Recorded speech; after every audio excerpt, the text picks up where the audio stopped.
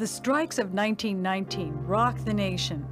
Shipyard workers in Seattle, clothing workers in New York, and soft coal miners in West Virginia all strike for better wages and shorter work weeks.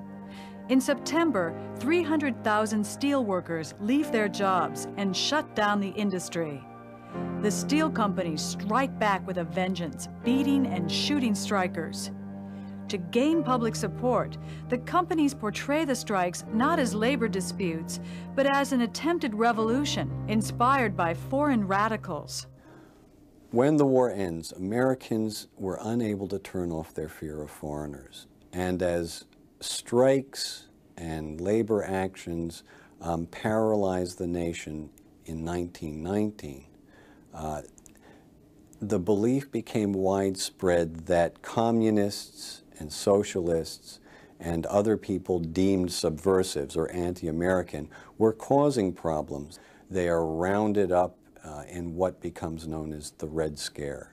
After a bomb explodes outside the home of Attorney General uh, A. Mitchell Palmer, Palmer um, stages a series of raids. The government uh, made raids on people that they considered radical or subversive or un-American. Uh, and for quite a long time, anybody who who tried to criticize the government or suggest that maybe things could be done in a different way were simply de denounced as un-American. Some people had been put in prison during the war for simply questioning certain things that the government was doing. So it was a time of great hysteria. The nativist sentiment peaks right after the war. Those thinking of themselves as 100% Americans are repulsed at the sight of some 800,000 immigrants stepping ashore in 1920 and 1921, most of them from Southern and Eastern Europe.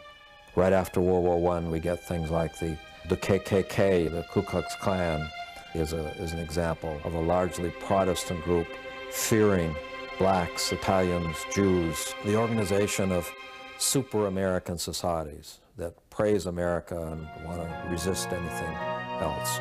So it's, um, it's an exaggerated feeling of patriotism is what nativism is. The fear of foreigners unleashed by the war continues without challenge into the 1920s. In 1921, Congress passes an Emergency Quota Act to stem the flow of immigrants. Later, more restrictive legislation cuts the flood of immigrants to America's shores to a trickle for decades to come.